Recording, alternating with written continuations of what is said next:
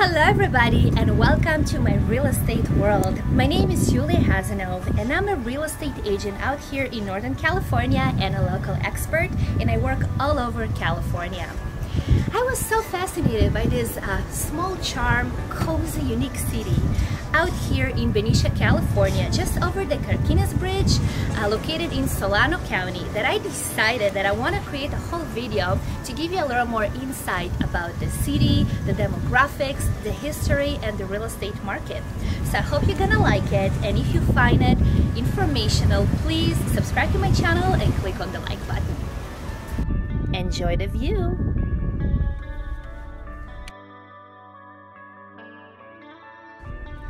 Benicia is a waterside city in Solano County, which is located just over the Carquinez Bridge, and it served as the capital of California for nearly 13 months from 1853 to 1854. The town of Benicia divided into four major areas. It's the east side, which is east of First Street, and First Street is the downtown of Benicia. And then there is the west side, which is just uh, west of First Street. And then we have Southampton and the Industrial Park. Southampton real estate is one of the most popular one in Benicia and it's typically got a single family dwellings starting with three bedrooms and two baths and condominiums. Benicia also used to serve as USA Army Armory which was bought by the city. Even the lieutenant's quarters, which currently known as the Jefferson Street Mansion, now serves as a weddings venue. The main retail area is First Street, which has all kinds of moms and pops restaurants, boutiques, clothing, antiques, and more.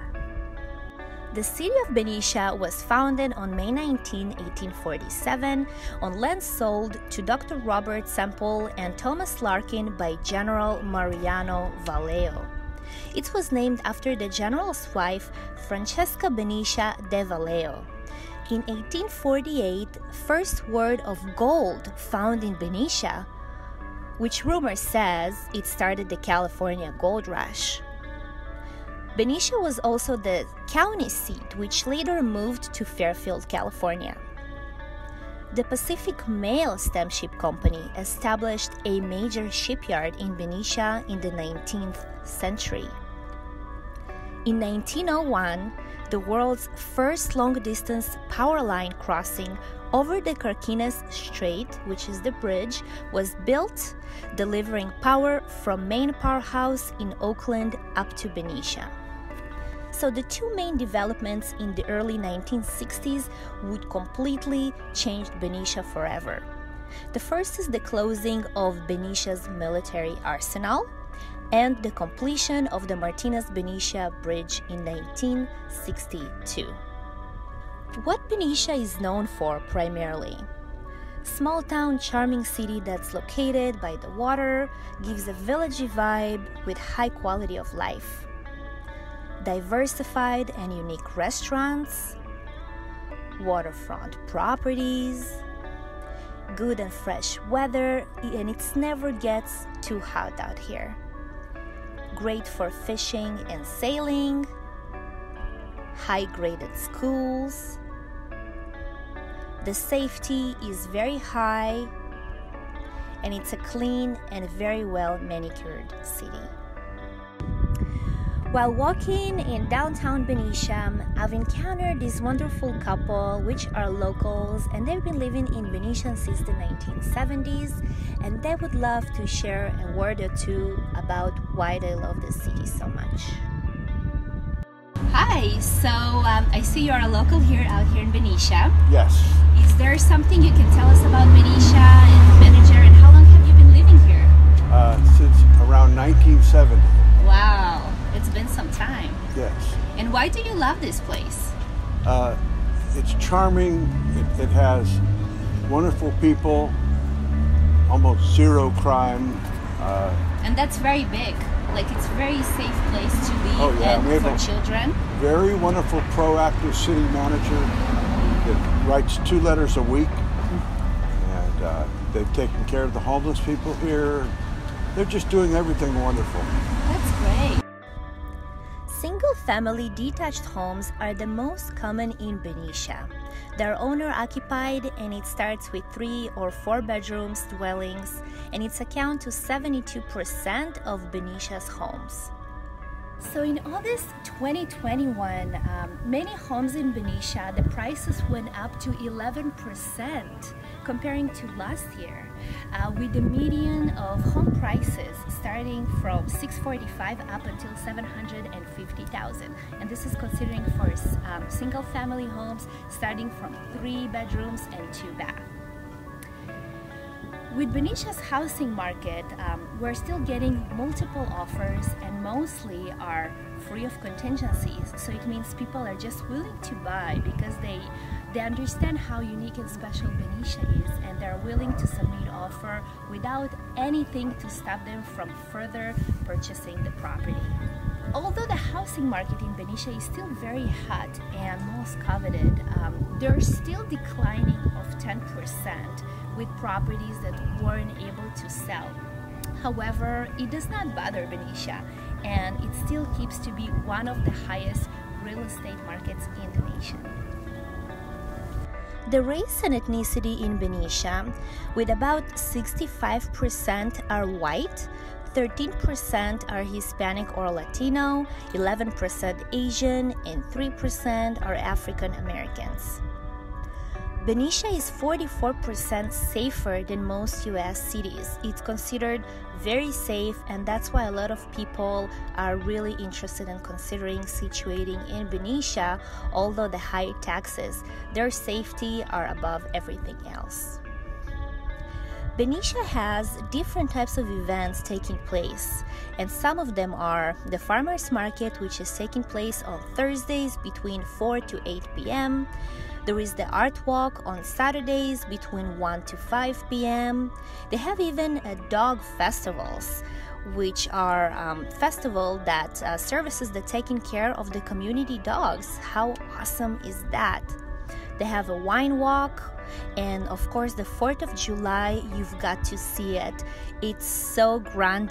The parade that they have that goes all the way through the downtown on First Street up to the shopping center. They also have sailing at the marina, which is a competition that they hold on Thursdays and it's typically during the summertime.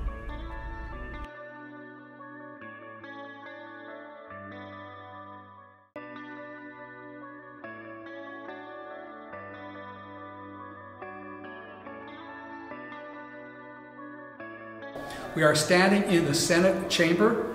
Uh, the assembly is upstairs. There are three original 1853-54 Senate desks. This one, this one, the one over there on the corner, and the names on the desks are the actual names of the senators. Uh, quick uh, bit of history on the construction of the building. This building was built from the ground up in a little over three months. Everything was done on site. All the framework of the building is original. It's redwood from Marin County. All of the bricks are original, uh, kilned on site. The hand-cut sandstone foundations are all original, Benicia sandstone, but most of the other components to build this building came from this source. There were over a thousand abandoned ships out in the bay when the crews jumped ship and ran off to the gold fields during the gold rush. They called it the Forest of Masts. They stripped the ships to build the buildings. I am leaning on the mast of a gold rush sailing ship. These are ship's masts. The original floor, pine ship decking. The original roofing material, zinc copper hull plating from the sides of the ships. And if you look at the wall lamps, you can see that they have a heavy base on the arms on a hinge. Interior cabin lights of ships. Uh, this capital uh, was only in this building for a little over uh, 12 months, between 12 and a half months, and from here it moved to Sacramento. Uh, they didn't start building the Capitol building uh, in Sacramento until six years after the move, and it wasn't completed until 20 years after the move, which is why this is the only early Capitol building in existence in California. Peter Burnett was the first governor. He only served half his term because he quit halfway through his term. Peter Burnett was, Burnett was an extremely uh, very pro-slavery Southern Democrat. McDougall uh, was lieutenant governor, so when Burnett quit his position, McDougall automatically became governor. He had two nicknames, which can essentially sum up why he only served half a term. Back in the day, you'd address a governor as Your Excellency. He was addressed as Your Accidency. This brings us to our third governor, John Bigler, first re-elected governor in the history of California. John Bigler also is reputed to have had the most corrupt administration of any governor in the history of California.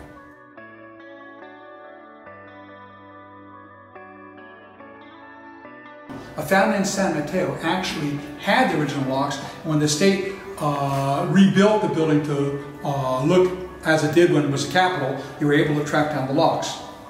And this is the key to the lock. They perfectly, quite smooth, and this is how we open and lock the place. You can actually see with this lock, same lock, you actually see the throw, throw of the bolt. And the locks are two-sided. Nisha was served as state capital for almost 13 months between 1853 to 1854. Um, this whole area right here, so we have the state capitol building over there, and this is the carriage house that uh, right now serves as a museum. And you can actually see the carriages that people used to use back then to commute around town. And even this route over here with all the brick the way it's preserved and situated. Uh, you can see how they used to commute and move around town on a road that used to look just like that uh, this park also boasts so many unique and historical plants and trees with over a hundred years old of age. Besides the fact that it's so historical, you can literally feel the spirit and it actually have multiple stories of being haunted. Um, it serves as a great location for photo shoots um, and you know, just, um, you know, hiking trails. Thank you for watching my video and if you would like to see more videos about other cities, please subscribe to my channel and smash that like button. And I'll see you on the next one.